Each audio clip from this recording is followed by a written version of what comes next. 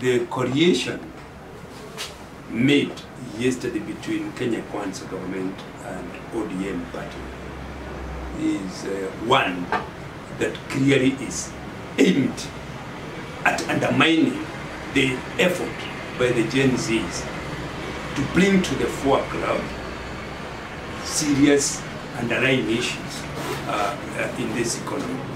And to that extent, it undermines the very steady gain that have been achieved uh, by the struggle, uh, bloody struggle by the young people in this country. To that extent, it is nothing to welcome about.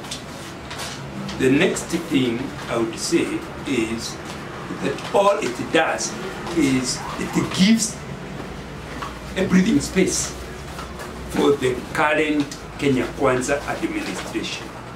But from all indications, it is unlikely to deliver any solutions to the main challenge problems bedeviling this country. Our problem that sparked the rebellion by the JC emanated from the bill, the finance bill 2024. And the key, the key indicator of the problem in that was the heightened taxation and uh, overburdening of tax burden to all Kenyans. And the key, the backbone to that also is we have seen underfunding of key social areas of budget, from education, capitation to primary school, secondary school, universities. We have seen underfunding of health. We have seen underfunding of all social infrastructure. In 2014, we were a witness to the first Eurobond, to the first Eurobond loan that was acquired during Uhuru government's time.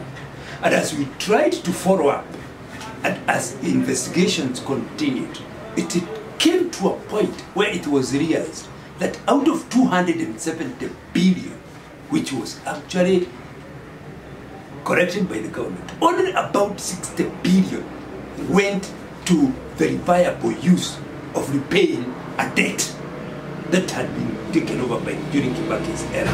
The rest of the money was allegedly deposited in some New York account.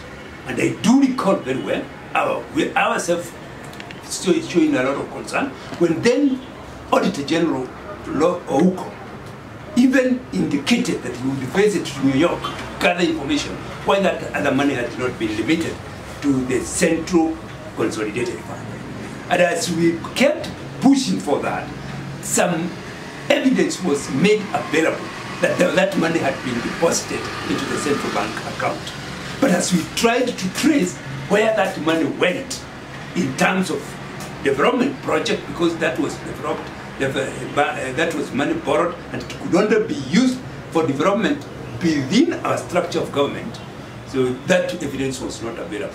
Now, from that incident, more borrowing have gone on, and even all the way up to this government to continue borrowing, both internally and externally. And now the burden of repayment of those loans keep expanding. And it has now reached a point where the country cannot carry out any development.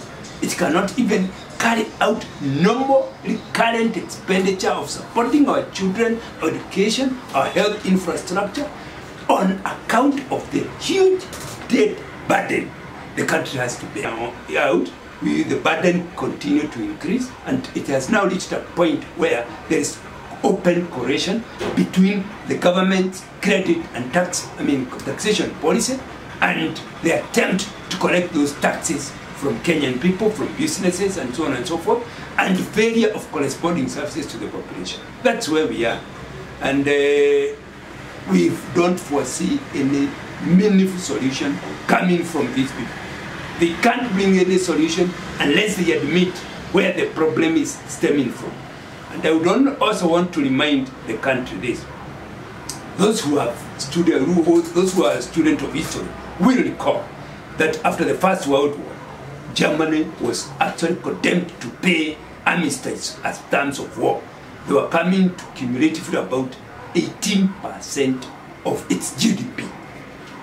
those were one of the reasons why the German government defined those payments and even prepared for Second World War that for to avoid payment of those kind of the kind of debt obligations Kenyan people are being condemned to pay to, and these are poor people paying to rich international institutions, denying food, service, education, health, and the to poor people in that world countries.